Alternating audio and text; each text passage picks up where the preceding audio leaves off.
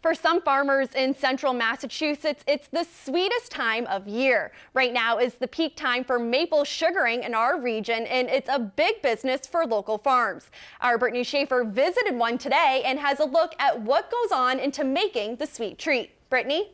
That's right, Olivia. In fact, Massachusetts is the ninth largest producer of maple syrup in the country. Today, I got a tour of one of the largest producing maple farms in the state. Dale Wentworth says he's lucky if he can use his $70,000 maple sugaring equipment six weeks of the year. We can always get spiky temperatures that are abnormally warm without a freeze at night.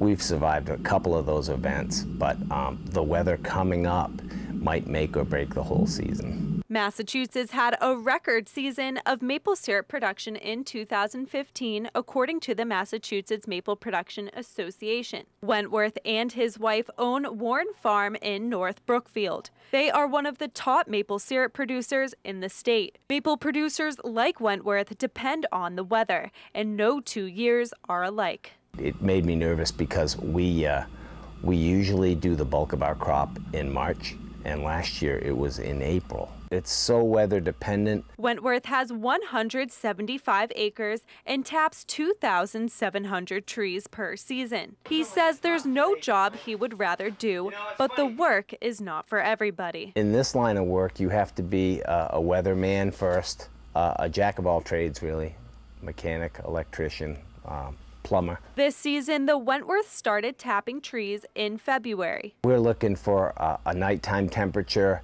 of at, uh, about 20 degrees, 24 degrees, and a daytime high of 42. The Wentworths make more than just maple syrup. They make maple candy, cheesecakes, and spreads you can find all over the state.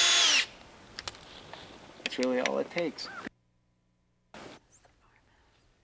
Maple syrup isn't the only business the farm has. Wentworth also expects over 200 people to visit this weekend for tours.